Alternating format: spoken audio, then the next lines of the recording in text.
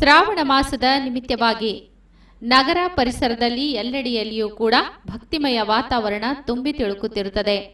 ಅದೇ ರೀತಿ ಗ್ರಾಮದೇವರಾದ ಶಿವಯೋಗಿ ಶ್ರೀ ಸಿದ್ದರಾಮೇಶ್ವರನ ದರ್ಶನ ಪಡೆಯಲಿಕ್ಕಾಗಿಯೂ ಕೂಡ ನಗರ ಹಾಗೂ ಹೊರವಲಯ ಭಾಗದಿಂದಲೂ ಕೂಡ ಸಿದ್ದರಾಮನ ಮಂದಿರಕ್ಕೆ ದರ್ಶನ ಪಡೆಯಲಿಕ್ಕಾಗಿ ಸಾಕಷ್ಟು ಗದ್ದಲವೂ ಕೂಡ ಕಂಡುಬರುತ್ತದೆ. ಇಡೀ ಒಂದು ತಿಂಗಳ ಶ್ರಾವಣ ಮಾಸದ ನಿಮಿತ್ತವಾಗಿ ದರ್ಶನ ಪಡೆಯಲು ಬಂದಿರುವಂತಹ ಭಕ್ತಾದಿಗಳ ಈ ಸಂಗಮವನ್ನು ನೋಡಿ ಜಾತ್ರೆಯ ಸ್ವರೂಪವೇ ಇಲ್ಲಿ ನಿರ್ಮಾಣವಾದಂತೆ ಕಂಡುಬರುತ್ತದೆ. ಅದೇ ರೀತಿ ಮೌನ ತಪಸ್ವಿ ಜಡೆಯ ಶಾಂತಲಿಂಗೇಶ್ವರ ಮಹಾಸ್ವಾಮೀಜಿ ಅವರು ಶ್ರಾವಣ ಮಾಸದ ಔಚಿತ್ಯ ಸಾಧಿಸಿ ಗ್ರಾಮ ದೇವರಾದ ಶಿವಯೋಗಿ ಶ್ರೀ ಸಿದ್ದರಾಮೇಶ್ವರನ ದರ್ಶನ ಪಡೆಯಲು ಬಂದಿದ್ದರು. ಯೋಗ ಸಮಾಧಿಗೆ ಹೋಗಿ ದರ್ಶನ ಪಡೆದರು. ಅದಲ್ಲದೆ ಗರ್ಭಗುಡಿಯಲ್ಲಿ ಇರುವಂತಹ ಶಿವಯೋಗಿಯ ದರ್ಶನವನ್ನು ಪಡೆದರು.